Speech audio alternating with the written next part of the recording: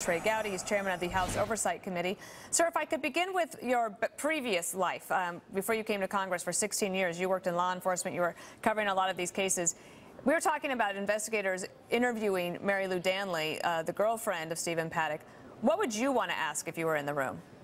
Well, it depends on whether or not I consider her to be a suspect uh, or, or, a witness. Um, and you got to be really careful because what you don't want is her invoking her Fifth Amendment privilege and not answering your questions just opportunities to detect a change in language, a change in, in, in, in his vocabulary, the way he discussed things, anything that we could use to detect the next shooting if she's a witness. If she's a suspect, it'd be a very different lane of inquiry, but, but over what period of time did he amass the weapons and the ammunition?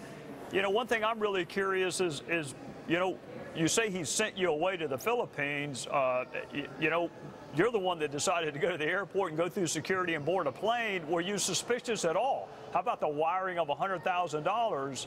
I, I want to know what we could have detected this time that will enable us to better prevent it the next time.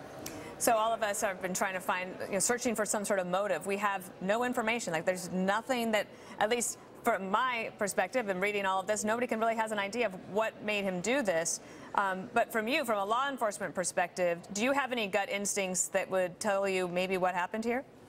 Well, this is what I would say. Number one, that is a perfectly natural question, and every homicide victim's family that I worked with for 16 years, that was the dominant question. Why did this happen? I would just tell my fellow Americans of good conscience, uh, there is no explanation, no motive, no trigger that can explain this level of depravity. So when I read articles about debt, lots of us are in debt, but we don't hurt other people. Lots of us had bad childhoods, we don't hurt other people. So we, we got to be careful to not look for a rationalization for what is an act of unmitigated depravity. So you on Capitol Hill are being asked now to take a look at and consider uh, additional gun control legislation. Um, I wonder if you could talk about that a little bit. In particular, I wanted to point out this op-ed I read in the Wall Street Journal today. I thought it was very, I'm sorry, it was the Washington Post today.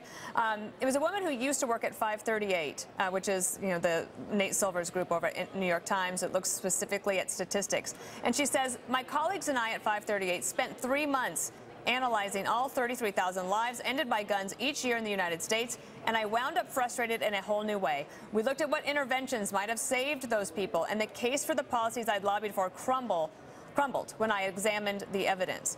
I think, sir, that there would be some people that might be persuadable on gun control legislation if there was anything that could point to what could have been done to pre prevent this that you know if we if we could do it without infringing on second amendment rights maybe we would do that where do you see the gun control debate going on Capitol Hill after this? Well, Dana, I think it's important for your viewers to know we already have controls of what kind of guns you can have, where you can have them, when you can use them, and, and what individuals can even possess a single bullet. So the question to me is whether or not the current controls are adequate. And there are two fundamental questions you just put your finger on. What law, had it existed at the time, would have prevented this mass killing or another mass killing? What, what law, but for its lack of implementation, could have prevented this? So that's one question. The other question is among all the panoply of current gun laws, how are we doing enforcing them? It is currently against the law for someone who's been adjudicated mentally ill to possess even a single bullet.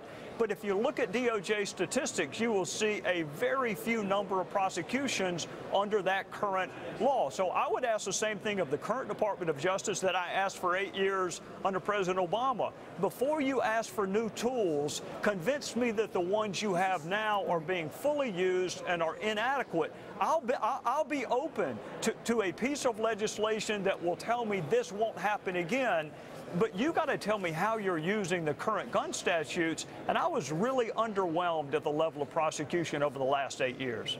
Indeed. All right. Um, Congressman Trey Gowdy, thank you so much. Appreciate it. Yes, ma'am. Thank you.